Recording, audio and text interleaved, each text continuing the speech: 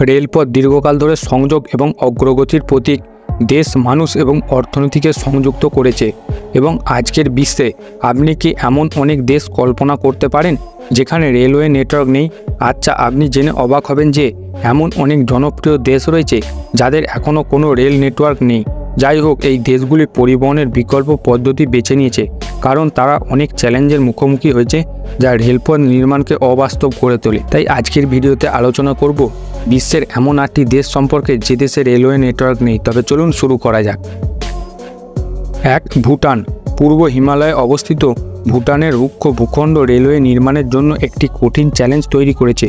উঁচু পাহাড়ি পথ, খাড়া উপত্যকা এবং সীমিত সমতল ভূমির কারণে এখানে রেলওয়ে ব্যবস্থা গড়ে তোলা ছিল একটি দুঃসাধ্য কাজ। এই কারণে ভুটান সড়ক পরিবহনের উপর নির্ভর করে এবং সফলভাবে রাস্তার একটি সুসংহত নেটওয়ার্কের সাথে তার অনন্য ভূগোল পরিচালনা করেছে। দুই, আইসল্যান্ড। আইসল্যান্ড তার সাজরুদ্ধকর, সুন্দর অত্যা আশ্চর্য ল্যান্ডস্কেপ, হিমাবাহ এবং গিজারের জন্য বিখ্যাত। কিন্তু রেলওয়ে নেটওয়ার্ক নেই। দেশের ক্ষুদ্র জনসংখ্যা এবং আগ্নেয়গিরির কার্যকলাপ সহ চ্যালেঞ্জিং ভূখণ্ড রেলপথ নির্মাণ ও রক্ষণাবেক্ষণ আর্থিক ও যৌতিকভাবে অসম্ভব করে তোলে। আইসল্যান্ড তার পরিবহনের জন্য তার সড়ক নেটওয়ার্কের উপর অনেক বেশি নির্ভর করে। তিন, সাইপ্রাস। সাইপ্রাস দ্বীপটি তার রাজনৈতিক বিভাজনের কারণে একটি অনন্য চ্যালেঞ্জের মুখোমুখি।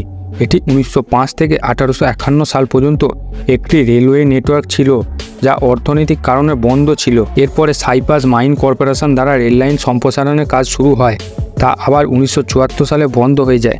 এখানকার লোকেরা বেশিরভাগ বাস এবং একটি বিস্তৃত সড়ক নেটওয়ার্কের উপর নির্ভর করে।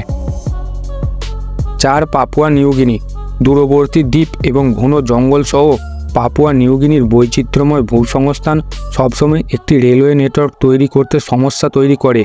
সীমিত সড়ক অবকাঠামো সহ দেশটি আকাশ ও সমুদ্র পরিবহনের উপর ব্যাপকভাবে নির্ভর করে। চ্যালেঞ্জিং ল্যান্ডস্কেপ এবং জনসংখ্যার বিচ্ছুরিত প্রকৃতি রেল পরিবহনকে একটি কম ব্যবহারিক বিকল্প করে তোলে। পাঁচ, মালদ্বীপ, একটি সুপরিচিত পর্যটন গন্তব্য। ভারত মহাসাগরের প্রবাল প্রাচীরে একটি শৃঙ্খল সমন্বিত। মালদ্বীপ হলো তালিকার আরেকটি দেশ, যেখানে রেলপথের ধারণা সহজভাবে চ্যালেঞ্জিং হয়ে ওঠে। যেহেতু এর স্থলভাগ বেশ ছোট এবং প্রচুর জলও রয়েছে, তাই দেশটির দ্বীপগুলির মধ্যে পরিবহনের জন্য প্রাথমিকভাবে স্লিপেন এবং নৌকাগুলির ওপর নির্ভর করে। ছয় এন্ডোরা জনসংখ্যার দিক থেকে এটি এগারোতম ক্ষুদ্রতম জাতি এবং ভূমি আয়তনের দিক থেকে ষোলোতম। তবু এটি রেলের অবকাঠামোর অভাব অব্যাহত রয়েছে। একটি ফরাসি রেলওয়ে সংযোগ থাকা সত্ত্বেও যা তার সীমানার মধ্যে মাত্র এক দশমিক দুই মাইল প্রসারিত। অ্যান্ডোরা একটি ব্যাপক রেল ব্যবস্থা ছাড়াই রয়ে গেছে।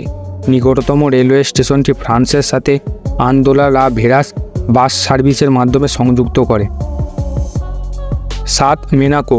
মিনাকো একটি ক্ষুদ্রতম রাজ্য, ফ্রেঞ্চ রিবেনারের উপর অবস্থিত এবং এটি তার বিলাসিতা এবং সীমিত স্থানের জন্য পরিচিত।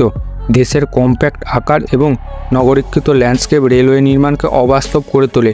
মিনাকো সড়ক পরিবহনের ওপর নির্ভর করে এবং বাস এবং ট্যাক্সিগুলি একটি অত্যন্ত দক্ষ নেটওয়ার্ক নিয়ে গর্ব করে। আট ইয়েমেন। ইয়েমেন উল্লেখযোগ্য অর্থনৈতিক চ্যালেঞ্জ এবং ভূ রাজনৈতিক অস্থিরতার সম্মুখীন একটি কার্যকারী রেলওয়ে নেটওয়ার্ক অভাব রয়েছে।